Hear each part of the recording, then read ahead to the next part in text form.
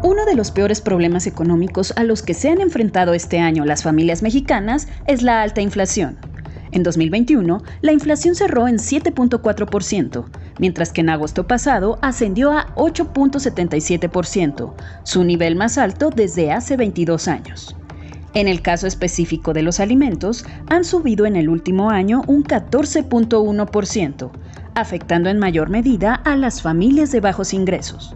Ante ello, el 3 de octubre pasado el gobierno federal presentó la estrategia denominada Acuerdo de Apertura contra la Inflación y la Carestía, o APESIC, el cual busca reducir en 8% el precio de la canasta básica en un periodo de seis meses, es decir, pasar de 1.130 pesos a 1.040 mediante medidas de flexibilización a la importación de los 24 productos que la integran. La idea es incrementar la oferta de alimentos, por lo que se otorga a las empresas importadoras de productos de la canasta básica una licencia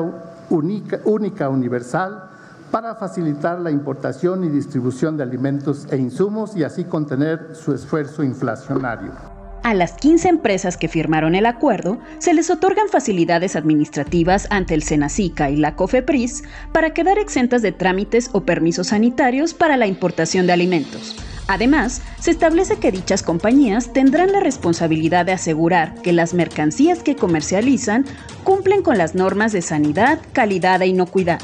La autoridad solo pide manifestar, fíjese usted bien, aquí me preocupa mucho, bajo protesta de decir verdad, que las mercancías cumplen con las condiciones sanitarias y de inocuidad.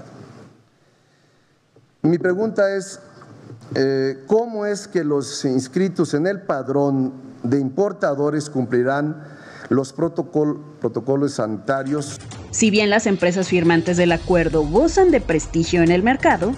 al dejar en manos de particulares el cuidado de la sanidad agroalimentaria, supone un alto riesgo para la salud de los consumidores y para los productores mexicanos. Abriendo así las puertas a la posibilidad de que se introduzcan productos que no cumplan con las normas de sanidad mexicana, exponiendo a consumidores y especies vegetales y animales a enfermedades Tan solo entre 2018 y 2022, el Senacica interceptó en puntos fronterizos 984 embarques con presencia de 95 plagas de interés agrícola. En ese sentido, el Senado de la República hace un exhorto a fin de continuar analizando medidas para combatir la inflación de los alimentos y que se incluyan mayores montos de apoyos al campo con la finalidad de generar un aumento en la producción agroalimentaria interna y con ello disminuir las presiones inflacionarias.